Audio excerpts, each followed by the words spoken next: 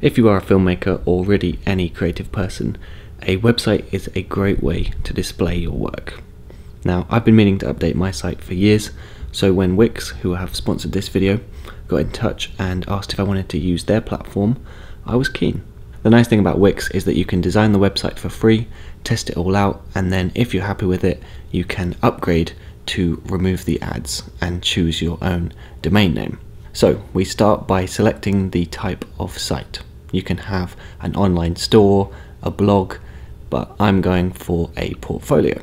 I'm definitely going to choose the editor since I'll be customizing everything and then we can choose a theme which is basically our starting point. For most sites it's easier to adapt a theme to what you need rather than starting from scratch. But before I actually do start working on anything I'm actually going to look for some inspiration and that's tip number one. The idea is just to think back to some sites that we have personally enjoyed like I remember liking Chance's site and how it's nice and minimal and how everything is centrally aligned. Another good way to find inspiration is just to search for design portfolios since the designers usually do have the best websites. And we're just looking at the fonts, the colours and the general layout, basically just anything we can learn from. It's also important to look at other people in your field. So if you take photos, have a look at the top photographers' sites. One thing I noticed that most of the filmmakers had was that they had examples of their work right on the front page. So that's tip number two. Know what people are looking for on your site and then make it really easy to find that. In my case, the homepage doesn't need lots of text because I'm not a writer. So maybe a grid like this would work, embedding all of the videos right next to each other. And then as far as the specifics of the design, I really like the way that this site has its menus grey to begin with and then they turn black when you hover your mouse over them. So I'll probably steal that idea. So we've got some ideas, so now we can actually start making our site. I started with the pages, the home page will have my work, then we'll add a contact page so potential clients can immediately and clearly see how to get in touch, and then a bio so the site has a bit of personality to it. I might as well change the name of the homepage to work since that's all that will be there. Now I want to change the color of the text on the menus. So on Wix we just click on the paintbrush whenever we want to change the design options and then we go to customize. So I wanted it to be grey by default and then have it change to almost black when the mouse hovers over it and then use the same color for when it's selected. Okay, so this is tip number three. Test it out often. So I'll just publish the site and for now I'll just choose a free domain and we'll be able to upgrade that later but the idea is just to make sure it does what we expected it to do and in this case it does so we can move on. Let's change the obvious stuff. The text, it's all pretty intuitive, you just kind of click and drag, it's basically as you'd expect. We can go to the toolbar to delete anything we don't need and then I'm going to the plus sign to add my own logo image. I'll drag it to the top and scale it down, then use the arrow keys to position it exactly. So that's a good start for the home page. So now let's go to the contact page and add our contact form. So again, we can choose from a couple of different presets, knowing that we'll be able to customize each thing later on. So I'll just drag and drop it and then scale it to fit. Then we'll click on the paintbrush to customize the overall layout of the design, the colors, that kind of thing. Basically everything except for fonts, which I'll think about later. So next let's update the footer, which will sit at the bottom of the site along with the social media links. We can type in the links for the different profiles and then change the order if we want to, use different logo styles, they have a couple of different options, or we could even design our own and upload them. Basically everything is customizable. That said, I think I'm happy with these light grey ones, so all I need to do is test it out to make sure that the links are going to the right places. Okay, so next let's go back to the main event, the homepage. I'm going to remove these sample videos and add my own. So typically this main video spot would be for a show reel, but it doesn't have to be a show reel, really it's just anything that shows off what you can do. But along with that, it should also represent the kind of work we want to be doing which is tip number four. If your website is full of wedding videos you've shot, then you probably won't get hired for a big commercial project. If your site is full of corporate interviews, then you probably won't get hired for any creative narrative projects. So it's really important that the work that you see on this on your site is at least similar to the kind of thing that you want to be working on in the future. So let's leave the homepage there for now and get started on the bio. I'll reorganize things a bit, delete things I don't need, and then add my own image. That's tip number five. Make sure your images are really strong.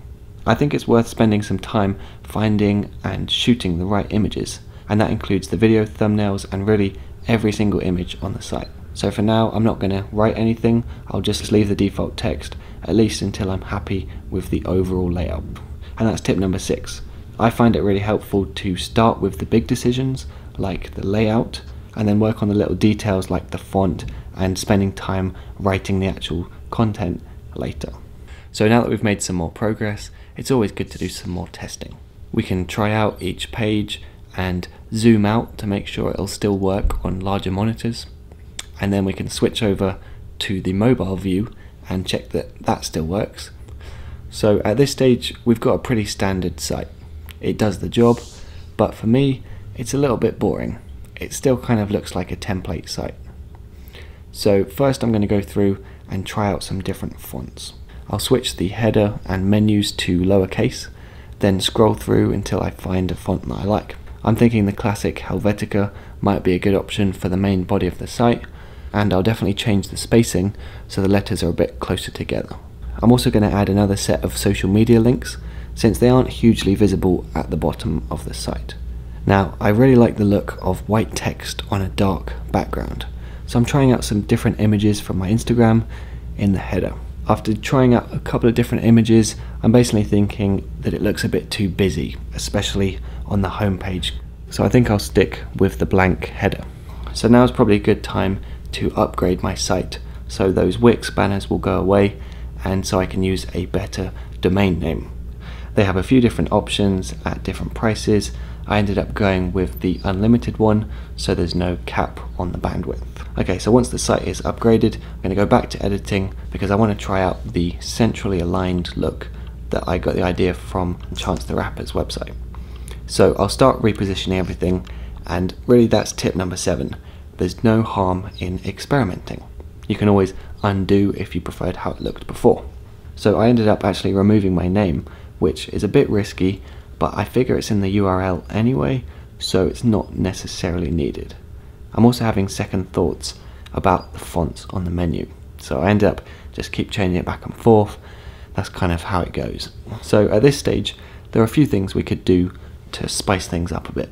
We could add image slideshows that might be nice on an About Me page, or we could add a lightbox which would pop up encouraging people to watch your reel or to sign up for an email list if you're into that kind of thing. We could also add animations, for example, on the menus so they fade in or slide in, but I'm going to avoid most of that because I do just want to keep things as minimal as possible. But even so, I will freeze the header, which basically means that people can always reach the menu even if they are scrolling down. So let's finish that homepage. Now I'd rather not have this white background on the header. So I'm going to actually remove the header and the footer from just this page and then we can have the video completely filling the screen. Now if I recreate the menu by copying it and then changing the colors to white so they still show up on the darker background, as well as doing the same with the logo, then once we've positioned things and lined it up, it basically looks like that white banner only appears on the other two pages. And for the last part of the homepage, I then just added some more of my work, basically just to show that I've worked on more than one project. And then last of all, I just have to write the text for the About Me section, trying to avoid cliches wherever possible, and then I just have to double check everything. So that includes the hyperlinks, making sure they all go to the right places, as well as making sure that I'm actually receiving the messages from the contact form. So to finish, I just want to make some comparisons between my old and new websites. So firstly, on my old site, it takes at least two clicks to watch any of my videos, and you have to kind of find them a little bit. Whereas my new site has them front and center, and you can start watching them within one click. That's important. As far as the design, on my old site I think the logo is way too big, I really don't like the font, and it's actually pixelated as well. The About Me page doesn't actually have enough writing to fit with the image, which is just a screenshot from one of my videos, and the whole page feels off balance, since the only thing happening on the right hand side of the page is this search bar that really isn't needed on a four page site. There's nothing to search for. And here's the new About Me page, which I think looks much cleaner and much more balanced.